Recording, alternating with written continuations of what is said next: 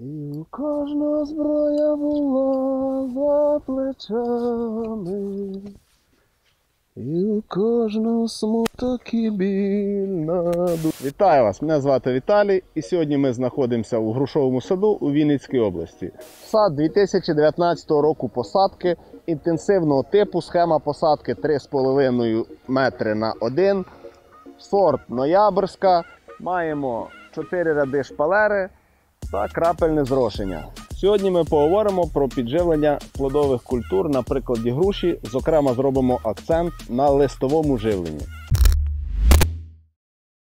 Інтенсивна технологія вирощення передбачає також інтенсивне живлення. Для живлення використовується фертигація, але слід також і не забувати про живлення по листу.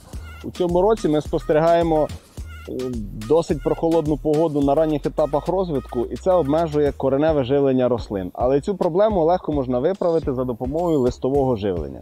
Слід не забувати також про важливість мікроелементів.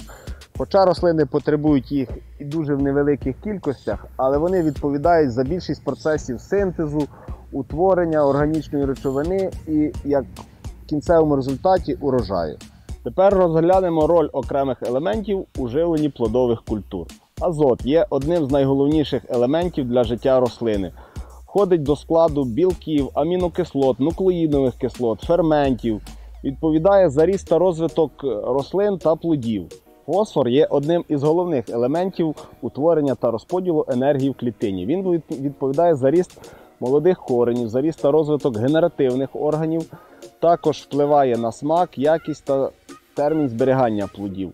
Особливо фосфор важливий для молодих насаджень, які ростуть та розвиваються. За допомогою калію ми можемо отримувати соковиті та смачні плоди великого товарного розміру. Кальцій також є дуже важливим елементом для плодових культур. Він зміцнює клітинні стінки, дозволяє плодам отримати більш хрумку структуру, також забезпечує краще зберігання та транспортування продукції. Кальцій наскільки цікавий елемент, що про нього варто зняти окреме відео. Також бор відповідає за синтез та транспортування вуглеводів, ріст молодих пагонів та коренів. Отож, бор рекомендуємо використовувати в фазу ботанізації початок цвітіння, а також одразу після закінчення цвітіння для отримання гарного урожаю.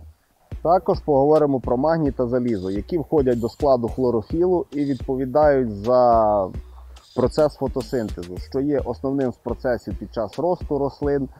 І за отримання гарного фотосинтезу ми можемо розраховувати на отримання гарного врожаю. Тож, чим зеленіші будуть наші листки, чим більше в них буде хлорофілу, тим вище в результаті ми отримаємо врожай.